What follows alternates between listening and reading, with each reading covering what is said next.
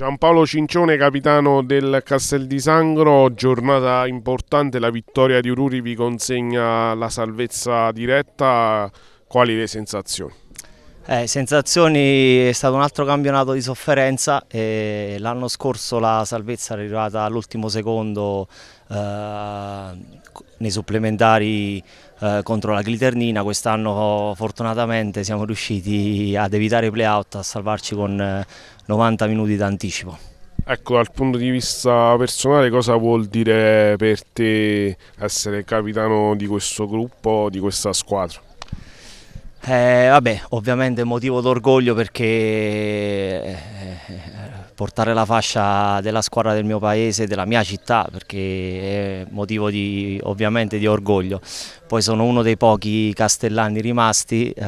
non so se l'anno prossimo ci sarà ancora perché l'età si fa sentire, quindi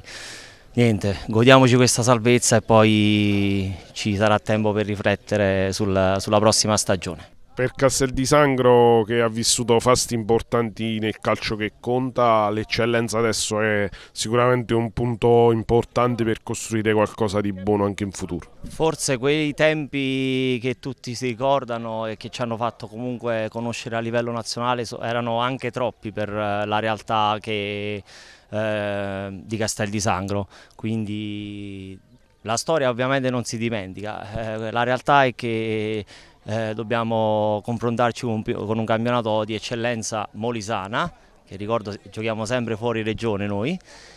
E niente, speriamo comunque di, dopo qualche anno di sofferenza, eh, l'anno scorso è arrivato il presidente di Tora, adesso vediamo un attimo di sistemarci meglio e magari di programmare una stagione eh, eh,